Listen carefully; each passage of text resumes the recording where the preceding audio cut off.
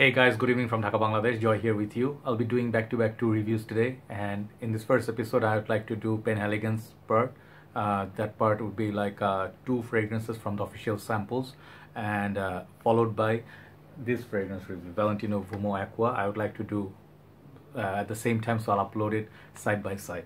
So first of all, let's look at uh, the Penhaligon's one. Penhaligon's one, it's a thanks to my brother. Once again, brother Tahmid, he gifted me this whole sample set and there are like about 10 fragrances in there 10 different variants. And I have previously reviewed three. Uh, you can check it out. Just few reviews back about uh, uh, we have uh, three reviews on three different fragrances. So today uh, we're going to look at two of the fresher takes okay? And I'll show you one by one. Uh, first fragrance we're going to look at I don't I'm not quite sure how to pronounce the name but it's I think Carcass Kirkus I don't know Q U E R CUS carcass I guess. I'm getting I'm I'm like guessing okay? So I'm sorry if I got that wrong obviously I did so this fragrance is the first one I'm gonna be reviewing. So bottle design it looks like this from the leaflet. It's beautiful. Uh, bottles just like the other bottles. I mean I don't find them extremely pretty or anything but they're okay. This is a niche house. Fragrances cost you about 170 180 pounds sometimes over 200 depending on which collection you're looking at. This one I believe it's somewhere like 170 pounds or dollars either one. I think this is a british house so it's gonna be in pounds. So let's see how this smells and who is it for and uh, we'll talk about it. So this fragrance i am not gonna put on my uh, self because i'm wearing clinique happy for men as a scent of the evening but i got some on my hand. And these are like not sprayable. These are all like dab samples the stick.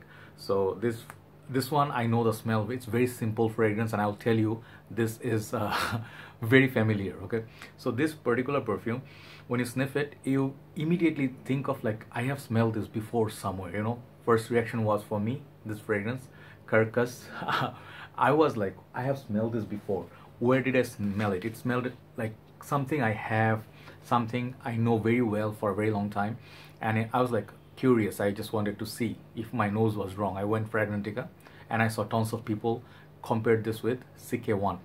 And funny enough, yes, I have CK1. I have a big 200 ml bottle.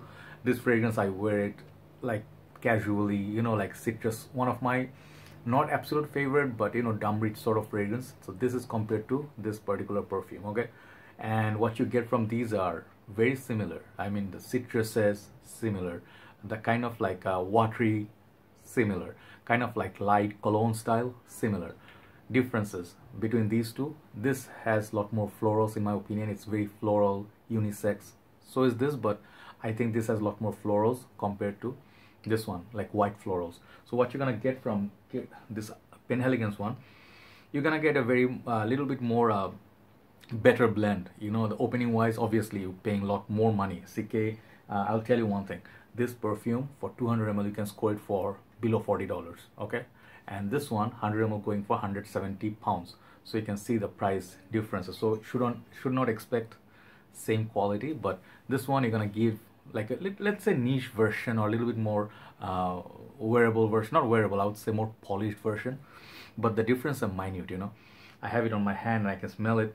I like it but it's nothing mind-blowing and the fragrance performance is not that great. I mean it's similar to CK1. I get like one to two hours max if I'm lucky.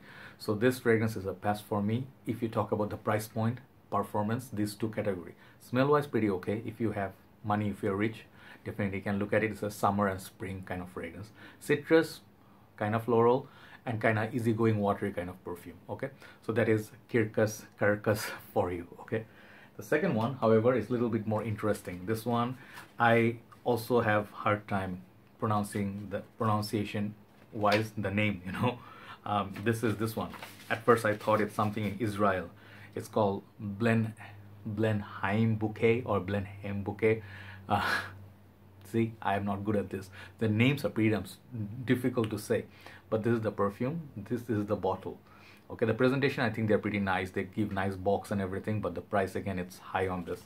But this one I like a little bit better than the other one so this fragrance uh, the, the sample looks like that okay and it's bouquet bouquet i always usually feel like uh, floral bouquet you know so i was expecting something like a floral bouquet kind of a fragrance but i have no clue what blenheim is blenheim is but i'm guessing it's like a I was guessing it's a floral kind of a perfume, but when I tried it, uh, let's try some on my skin. This one I love to put on me. This, it's really lovely. This is for people who love fragrances like Bergamote 22, Lemon Lime by Mancera, Dior Homme Cologne.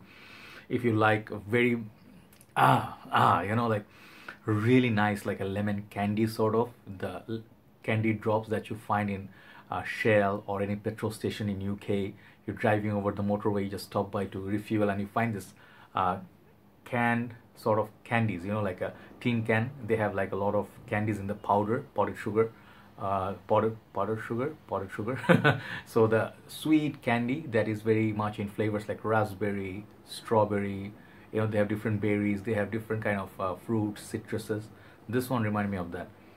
What I really get from is beautiful, short-lived, sadly. The citrus is so lemony, so vitamin, so much like, you know, like uh, tart citrus, acidic and it's a very nice pleasant opening but the unfortunate thing is the citrus doesn't last at all I mean citrus is a very pretty volatile note. I mean even in other fragrances that I have uh, this one literally have to shower in this fragrance. You know if you have a 100 ml you have to wear literally like 20 ml per day to get some sort of performance. I even that time I don't think it will last you more than three hours maximum.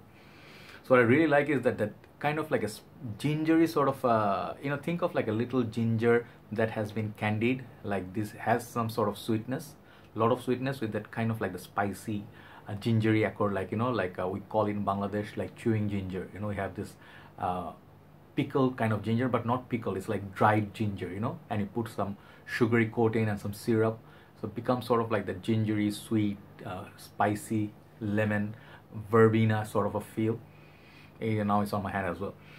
So this is just the smell. The composition is very beautiful. It's very uh, mouth-watering citrus. It's literally like citrus bomb with a little bit of herbal green kick later on.